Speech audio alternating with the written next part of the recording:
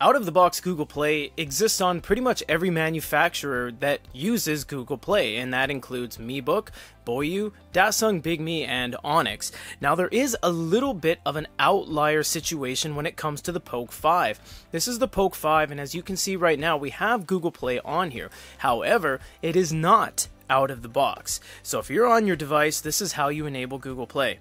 Head over to the Apps section by clicking the bottom Apps logo go over to the three lines at the top, and then click on App Management.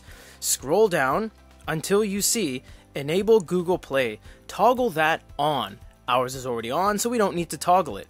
After that, you have to do the Google Services Framework ID. Click the thing right below it, which will bind your device to your Google account by scrolling down, making sure you're not a robot, register, and then sign in.